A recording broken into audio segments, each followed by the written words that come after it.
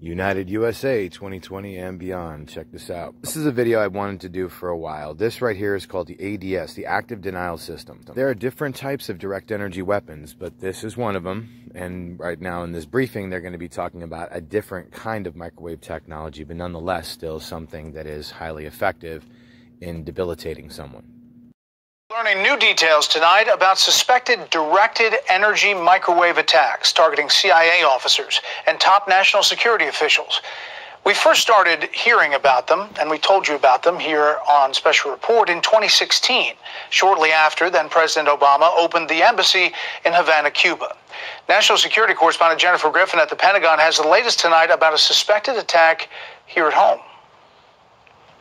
U.S. officials say there are now 130 suspected victims, mostly CIA operatives and U.S. diplomats being treated for brain injuries, debilitating headaches, and vertigo, the targets they believe of a directed energy microwave weapon. There's a mysterious direct energy weapon that is being used, and it is causing, in some cases, permanent traumatic brain injury. New indications suggest the incidents go as far back as 1996. Two individuals working on the NSC believe they were targeted in 2019 and in 2020, just after the election. One was near the White House and one was walking her dog. The Russians have been working on mobile microwave weapons for years. We have to get more information and we got to tell the public what's going on. The U.S. Air Force and tech firm Epirus have developed a mobile high energy microwave weapon to bring down drones. Epirus is also working on a miniature variant of the weapon that can be easily transported on a pickup truck. This is the type of technology that might be targeting American. Add a special loudspeaker, which can target sound very accurately and to a precise location. Now, when I whisper through this, it can be aimed right at you, and nobody will hear the sound. It sounds like it's right here. It's basically like a laser of sound. Quiet down, please. We're watching. Special on it on, I believe it was National Geographic. Um, I never forgot something like that. That's something you never forget. And now that I'm showing you this, you'll never forget this for the rest of your life. So, directed energy weapons are very, very real. Um, they were going to use this in Afghanistan.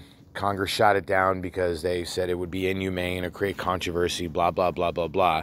But this is what a lot of people don't know. Um, it was developed by a company called Raytheon in cahoots with DOE and DOD, Department of Energy, Department of Defense. It's capable of going up to 95 gigahertz, right? Millimeter wavelength. Now, why do I want to bring this up? Well, the reason I want to bring this up is because that's exactly what 5G technology is. These, the short cell, the small cell, millimeter wavelengths uh, that I've shown in videos on the top of streetlights all around town that you guys are seeing rolled out in the last couple years. They're everywhere. They can be directed. Um, if you go to AT&T, Verizon, T-Mobile, uh, Sprint sites, they directly admit that those systems will be operating anywhere between, you know, like 29 uh, and like, you know, up to like 40. Um, gigahertz of energy. Um, but are they capable of going up to 95 gigahertz like this? I don't know. But I'm telling you that this is where 5G technology came from. Now they've just learned that there's multiple uses for it, uh, but this is also one of them. So yeah, pretty, pretty crazy stuff. Check this out too as well. This weapon, under development for 15 years, has yet to be used in the field. The technology has attracted safety concerns, though the U.S. military says the rays do not penetrate the skin and pose no health risks. If an operator is, is squeezing the trigger and there's a lot going on and he uh, inadvertently keeps squeezing the trigger, there's an automatic shutoff for three seconds. Out of 11,000 exposures on people, only two minor injuries have been recorded. The Pentagon has not yet decided whether it will order the active denial system, whose powerful beam can reach up to a thousand meters. Picture like an invisible searchlight, right? You know what a searchlight looks like? So invisible, an invisible searchlight of radio waves going down. Okay, so you heard it, ladies and gentlemen. So it's an invisible searchlight of basically it's radiation. It's microwave technology. It's DEW. It's direct energy weapon, and they admit that it goes up to 95 gigahertz directed energy weapon. Uh, and this is a clip also from uh, about 15 years. So it's this big when it starts, and at the end, it's the same size. Eventually, the weapon could be put to a wide array of uses, such as thwarting hostile attacks.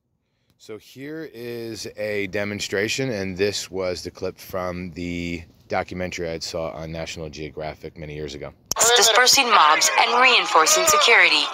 For now, it remains just a prototype. But this is um, is an example to show you the type of technology that they have available that uh, we're lucky that we even know about this. I don't know if I'd use the word luck, but think of all the technology and the things that we have no idea the capability of our military or other countries' military or classified technology.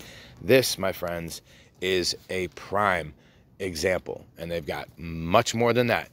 Here you go, ladies and gents, just a couple examples. If you'd like to see more videos like this, please smash that like button, like and share.